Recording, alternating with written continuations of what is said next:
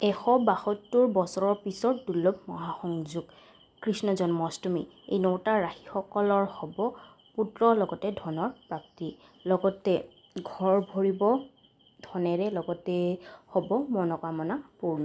নমস্কাৰ বন্ধু বান্ধৱীসকল আপোনালোকক মোৰ চেনেল অসমীয়াত ঘৰুৱা দিহাবাই চন্দ্ৰকলালৈ স্বাগতম জনালোঁ। বন্ধু বান্ধৱীসকল আজিৰ এই ভিডিঅ'টিত আমি জানিম সাত ছেপ্টেম্বৰৰ দিনা যিটো কৃষ্ণ জন্মাষ্টমী সেই জন্মাষ্টমীটো এশ বাসত্তৰ বছৰৰ পিছৰ মানে দুৰ্লভ মহাসংযোগ বনি আহিছে। লগতে এই সময়ছোৱাত নটা ৰাশিসকলৰ পুত্ৰ প্ৰাপ্তিৰ লগতে ধনৰ প্ৰাপ্তিও হ'ব। ঠিক আছে তাৰে বিষয়ে আজি আমি এই ভিডিঅ'টি জানিম।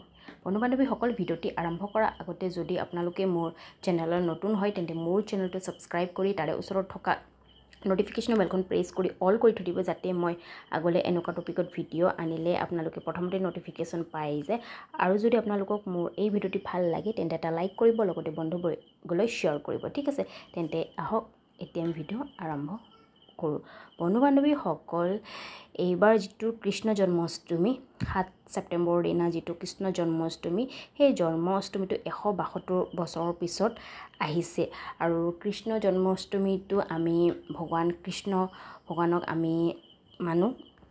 আৰু কৃষ্ণ জন্মাষ্টমীৰ দিনা ৰাতি বাৰটা বজাত কৃষ্ণৰ জন্ম হোৱা বুলি কয় আৰু সেইকাৰণে কৃষ্ণ জন্মাষ্টমীৰ দিনা ৰাতি বাৰটাত কৃষ্ণক পূজা কৰা হয়। আৰু বন্ধু বান্ধৱীসকল এতিয়া আমি জানি লওঁ কোন নটা ৰাশিসকলক পুত্ৰধনৰ প্ৰাপ্তি হ'ব।